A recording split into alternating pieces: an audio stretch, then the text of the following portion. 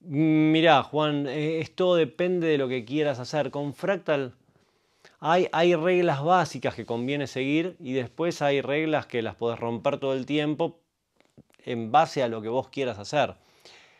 Eso es lo más importante. Mm, estoy dando de pensar a ver si tengo video de todas las cosas que puedo llegar a mencionar ahora. Y no lo sé, pero bueno, es cuestión de investigar un poco ahí por mi canal y van a encontrar un montón de tutoriales de Fractal. De última, puede ser que tenga algo al respecto.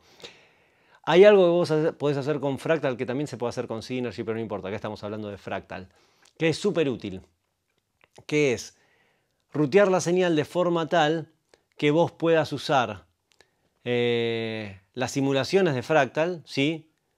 Eh, y los efectos y todo, bla, bla, bla, bla, y de ahí salís a una potencia.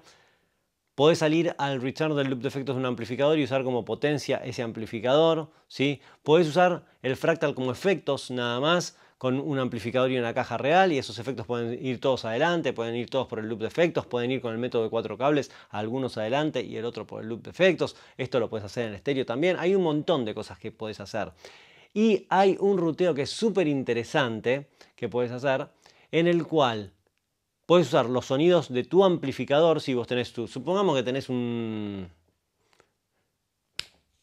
A ver, vamos a dar un ejemplo fácil. Supongamos que tenés un JCM 800, ¿sí? Un amplificador monocanal, que el canal limpio que tienes es un desastre, digamos, según el nivel de distorsión que uses, tu canal limpio va a tener que ser seleccionar micrófonos doble simple bobina en la guitarra y bajar el volumen, es decir, limpiar desde ahí, porque después mucho limpio no le puedes pedir al JCM 800.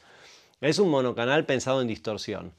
Y tenés, suponete que esa distorsión es la que te gusta, porque sos yo que sé, fanático de Slash o de Guns N' Roses o de algunas otras bandas que tienen ese sonido como algo característico. Entonces vos decís, oh, buenísimo, mirá, mi sonido es el JCM 800 y estoy rockeando a pleno pero necesito efectos, quiero agregar delay, quiero agregar chorus, quiero compresores, quiero gate, quiero un montón de cosas. ¿Qué hago? Bueno, le pongo un Axe-FX. Entonces de repente, ahora yo tengo el canal distorsionado de, del JCM800 y le puedo agregar compresor, delay, reverb, chorus, todas las modulaciones que quiero. Cuando quiero tocar un solo, no solamente tengo la posibilidad de agregar el delay que quiero, sino que como lo tengo con el método de cuatro cables, y algunos pedales adelante del amplificador, perdón, algunos efectos adelante del amplificador y otros efectos por el loop de efectos, ¿qué hago? Y bueno, adelante del amplificador pongo un bloque de eh, drive, que puede ser un boost o puede ser un overdrive. Entonces, si necesito más distorsión, más ataque, más sustain, para tocar un solo, bueno, activo ese bloque. Entonces tengo las bases, las tengo solucionadas, los solos los tengo solucionados. Está buenísimo. Ahora, resulta que mi guitarra es una, yo qué sé, una ESP con micrófonos eh, MG81 y 85. Dos micrófonos doble bobinas activos que son KKK cortar metal a otra cosa, pero que querés limpiar la señal con esos micrófonos y es un desastre. No sirven para nada. Entonces en ese momento te puedes a pensar y decís, bueno, está todo bien, yo para tocar acá heavy, para tocar bases solos, estoy cubierto, mm, pero resulta que ahora necesito tocar una parte en canal limpio y por más que trato de limpiar con el potenciómetro de volumen, suena feo, no, no suena canal limpio, suena algo medio rotoso. No, no está bien. Yo quiero un canal limpio clásico, como si fuese un Fender, cosa que no lo vas a lograr nunca con el JCM 800. Hay un ruteo que puedes hacer con Fractal que lo que haces es desconectas la parte que está delante del amplificador, es decir, todos los efectos que van por adelante y el preamplificador de, de tu equipo, de tu amplificador, y ruteas toda la señal para que ingrese exclusivamente por el return del loop de efectos del amplificador.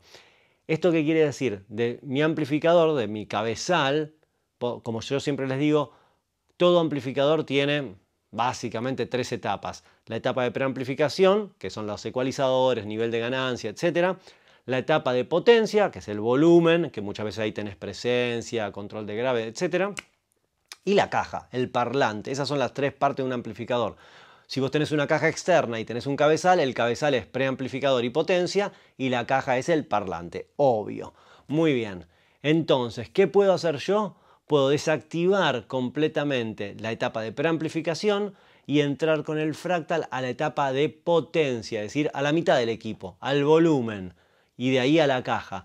¿Y de qué me sirve esto? Porque sí, sí, está bien, pero me quedé sin la distorsión, me quedé, ok, pero podés en ese momento activar un bloque de amplificador con el fractal y en ese bloque de amplificador cargas un Vox AC30, un Fender eh, Twin Reverb, lo que quieras, y de repente pasaste a tener un excelente canal limpio que con tu equipo no existía. ¿sí? Eso es lo que tiene de súper interesante, que vos haciendo el ruteo correspondiente podés tener un canal, podés, si tu amplificador es solamente distorsión, bueno, le podés agregar un canal limpio sin ningún problema. Probablemente, tenga algún demo yo al respecto mostrando cómo se hace eso, porque lo probé yo para ver qué resultado me daba y está buenísimo. Así que si buscan por mis tutoriales de Fractal y por ahí por el canal, seguro van a encontrar algo, algo al respecto. Así que por eso te decía, en cuanto a tu pregunta, Juan, ¿conviene o no conviene? Bueno, según lo que quieras hacer. Esa es la realidad. Lo importante es que Fractal te da una versatilidad que te permite hacer absolutamente cualquier cosa.